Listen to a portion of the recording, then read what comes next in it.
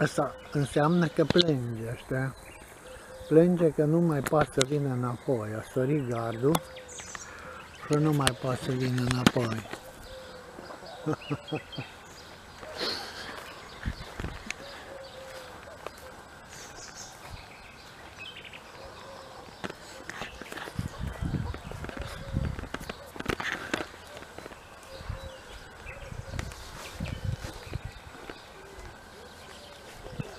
Apoi, să știi că sunt conștient că ceea ce fac nu e chiar 100% în regulă, știi? Deci 100% în regulă nu e ceea ce fac. Am început să mă gândesc că asta ceea ce fac eu, până la urma urmei, bă, poate să fie interpretat de unii sau chiar de mine însumi că încep să bolenzesc. Nu bolenzesc. Mă lupt să nu bolenzesc.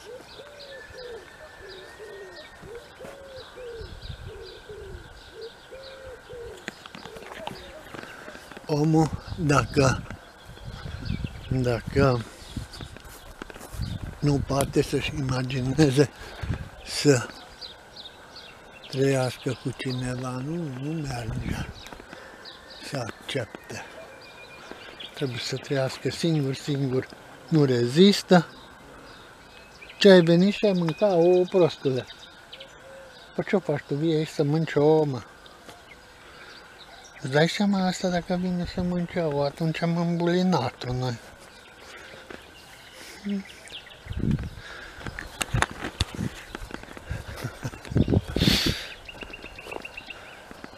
De fapt, mai mare problemă este că îmi mere stomacul de, de, de ce am moștenit de la maică mea. Că la maică mea mergea într-una stomacul când era neliniștită și eu am, se pare că aceeași moștenire.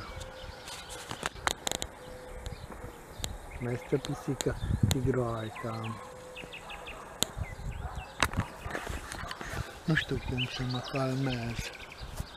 Deci așa știi, eu pot să mă prefac, că asta e pref- prefăcăciune ce fac eu aici, dar în fond, în interior, s-a agitat ca dracu. Sunt agitat ca dracu.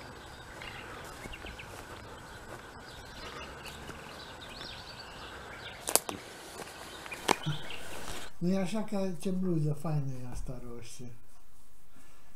Dana, îți mulțumesc bluza. nu știe nimeni cine e Dana, fi liniștit. Uh, mai, dracu știe mai nou în fiecare dimineață când mă trezesc, nu știu de ce, dar am așa un cumul de, de agitație și de neliniște, știi? Și Bine, de fiecare dată spun că e o prostie asta cu videoclipurile, dar acum m-am uitat ce vă pun aici, e în față din grădină și mă văd cum sunt și mă ajută extraordinar. Că, eu spun foarte sincer acum, eu pentru nimeni nu fac videoclipurile astea. Pentru absolut nimeni și nici de aia ca să mă produc eu că sunt mare actor sau ceva sau alte tâmpenii, nu. Eu absolut pentru mine însumi, pentru că într-adevăr, deja îmi fac și eu griji că din cauza uh, necazurilor mele pe care le am și a gândurilor mele, să nu cad mai rău, înțelegi, de atâta. Deci, pe mine mă ajută, într-adevăr, că văzându-mă pe mine însumi, mă, mă, mă, mă, mă redresez. Punct. Și acum, despre altă chestie este că, mă, știi ce am citit? Să știi că eu sunt foarte versat pe internet, că am deja aproape 15 ani de când sunt pe internet și știu eu unde sunt fake news și din astea și nu citesc. Am citit că despre virusul ăsta, coronavirus, că se, au se transmite pe cale sexuală. Ce zici? Pe cale sexuală. Dar doctorii în orice caz, ori pierdut enorm cu virusul ăsta, deci încrederea în doctor și mai mult scade. Și mai mult va scădea încrederea în doctor, pentru că, într-adevăr, tot feluri de, de improbabilități și de nereușite apar din partea lor și lumea, acum nimeni nu are curajul ăsta să, să vorbească așa public. Sigur că pe mine nu mă ascultă nimeni, deci nu, nu sunt eu o persoană importantă și nu mă notează pe mine nimeni. Eu trăiesc în Ungaria, nici nimeni nu înțelege limba română.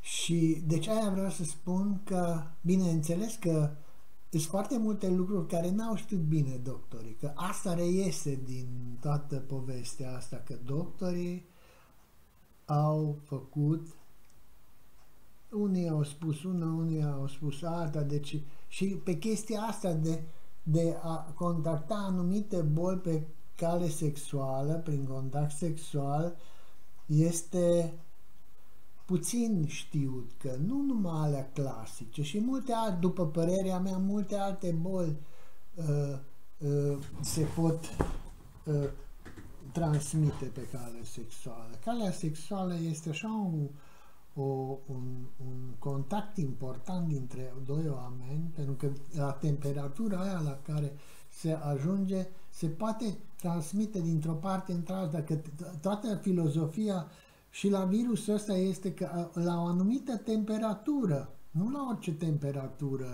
trăiește.